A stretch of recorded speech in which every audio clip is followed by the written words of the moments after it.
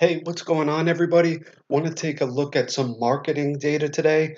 This is for a bank. This is real data from a bank. Each record represents a customer that the bank reached out to about taking an offer. I believe the offer was for a certificate of deposit. So for each customer they reached out to, they have attributes such as the age of the customer, the job, marital status, education, so on and so forth, all the way across to column Q, where we have a field that indicates did they take the offer or not. So I'm going to jump right into it. We have eight objectives to go through with this data set. I'm going to be using pivot tables to slice and dice it up. All right, let's go. Objective one. How many total customers were contacted? How many took the offer? How many did not? All right, so let's go back to our data table. I'm going to highlight the top left, Control A to select all data. We have 45,000 records. Insert, pivot table. Let's put it on a new worksheet. And what I'm going to start doing is take the objective and paste it near the table so we can see exactly what we're supposed to be doing. How many customers were contacted in total? So I know there is an age entry for every single record, but I'm not going to use that. Let's use took offer, which is just a yes or no. Let's count that up into the values field.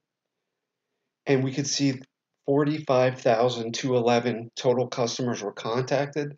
Let's take the took offer variable again and pull it into rows. And that's going to give us our delineation of yes, no's. So of the 45,000 that were reached out to, 5,200 took it and roughly 40,000 said no to the offer. All right, that completes number one. Number two, what was the percent of customers that took the offer? Also show the percent that did not take the offer.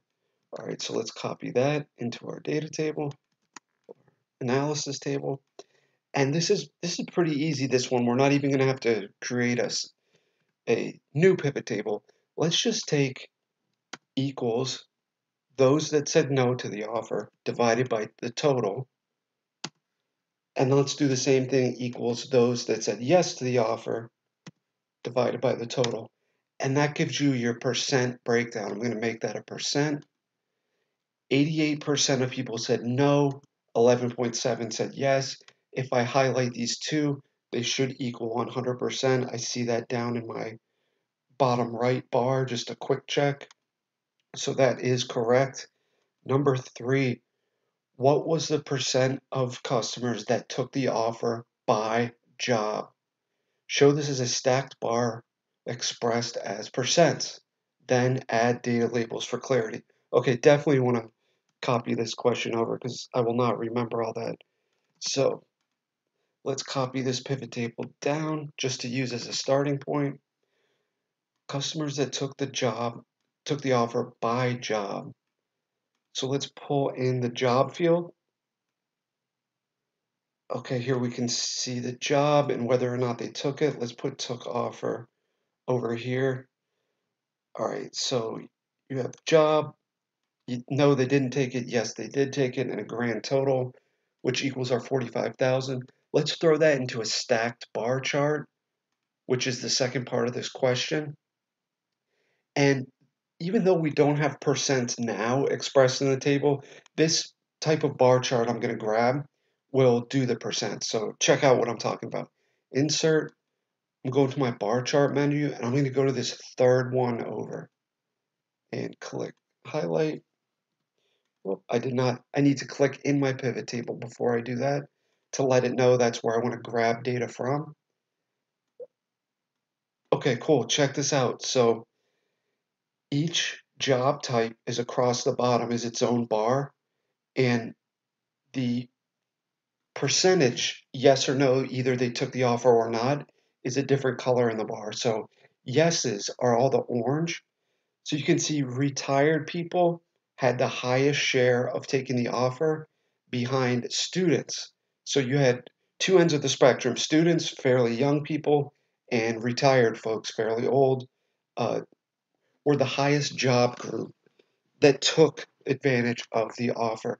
And the next piece of the question is to add data labels. So that's easy. Right click and let's hit add data labels. That just gives us our count. And let's do it one more time with the top portion of this bar, add data labels. And there you can see the counts that make up each of the percentage bars. Again, this is expressed as a percent, the bar, uh, according to this axis right here on the left. All right, number four, show a count of customers that took the offer by age. All right. Oh, let me copy it, the question. And I'm going to copy this pivot table again just to, to get a starting point. Because it's hooked to the same data set, I don't need to create a, a pivot table from scratch every time. I can just copy one and then start manipulating it. Okay, show count of customers that took the offer by age. So let's pull age into our rows field. Those are all the unique ages in the data table. And let's say took the offer in values and then took the offer one more time, columns. And what I'm going to do is filter for yes to show only people that took the offer. And let's remove grand total. It's redundant. So there you have by age. So this is age going down here. And these are the count of people who took the offer by age. If you if you've been watching, you know I'm a fan of throwing on this kind of conditional formatting. It's kind of a histogram just to show where the the depth of uh, taking the offer was by age. You can see, look at this. Um, early 30s really got a peak in people taking the offer, tails back up, and we got another little peak around 60 years old. It just makes the data a lot easier to see when you do that. All right, number five. What was the average bank balance for customers who took the offer? How about for those who declined? Okay, let's go down here. And I'm going to copy that pivot table I was using. Let's clear it out so we can start from scratch. Average bank balance for customers who took the offer. So let's first pull in whether they took the offer or not. And see how it's only saying yes?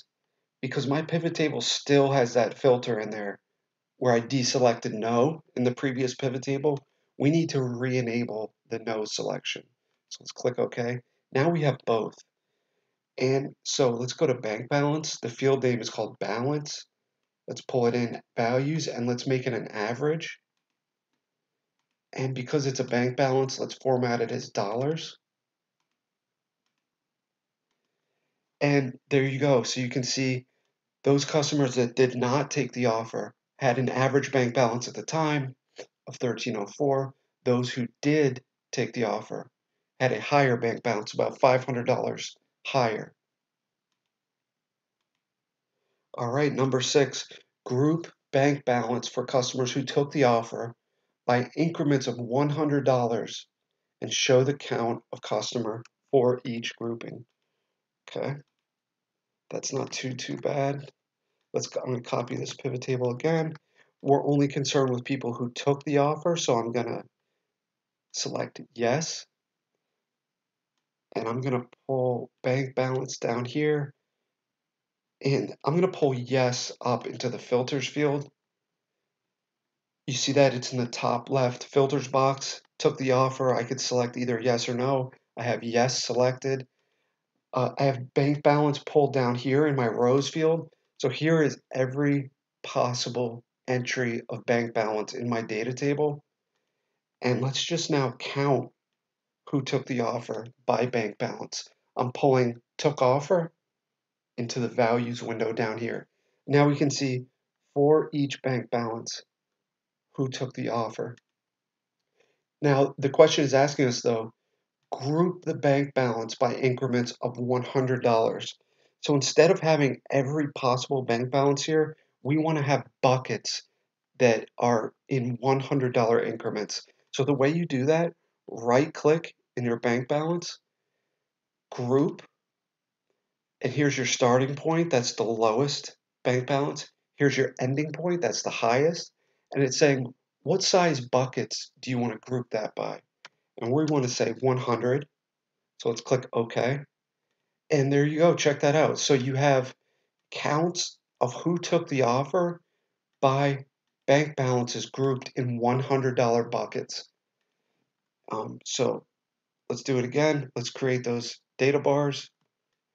I'm going to highlight all my data I want to visualize, conditional formatting, data bars, and I'm going to choose this one right here.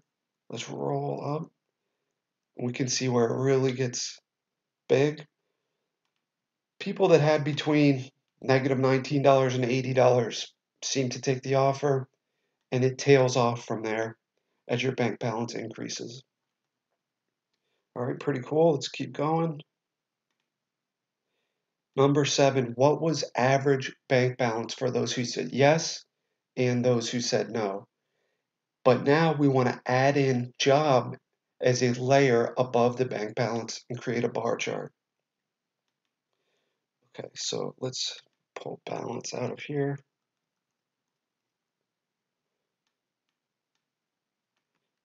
I'm going to create a whole new pivot table down here. Let's clear it out completely.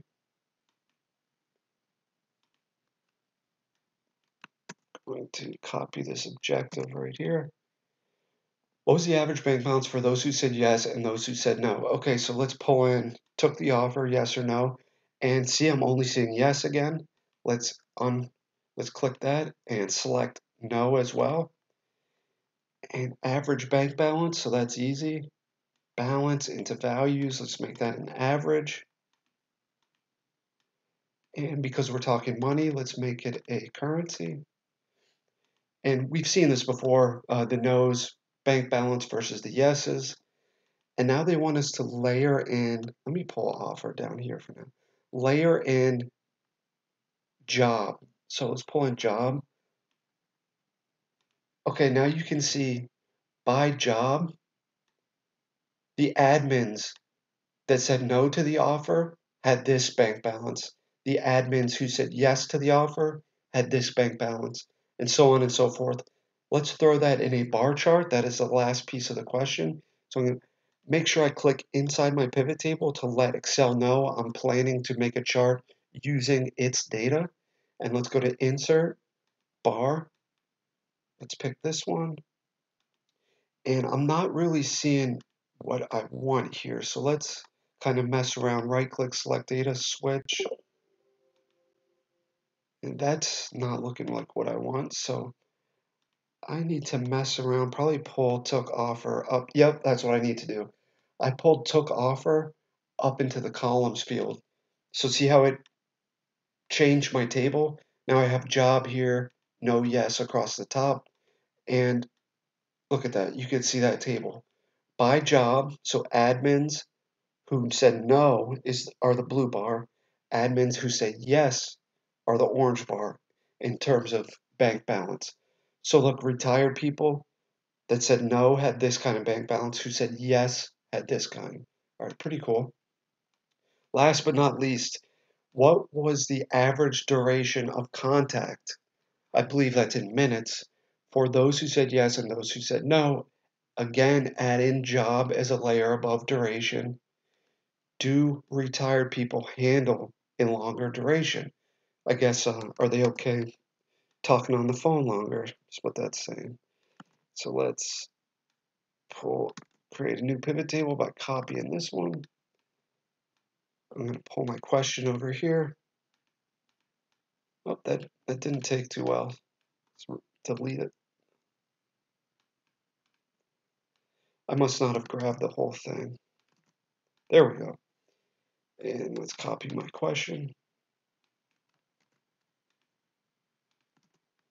Okay, average duration of contact. All right, let's clear this out.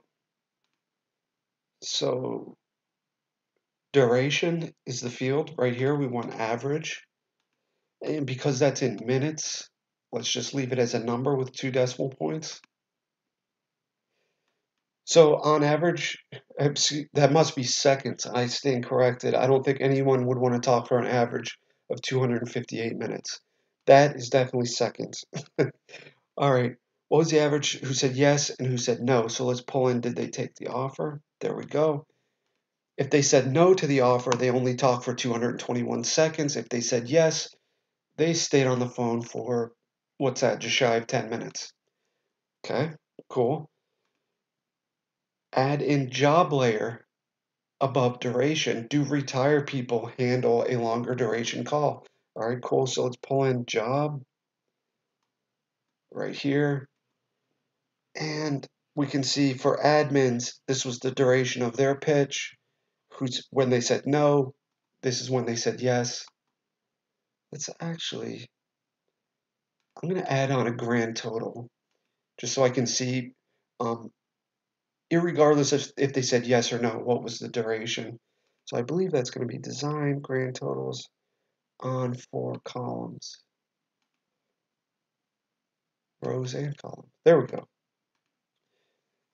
All right, so do retired people have a longer duration of talking? Not really.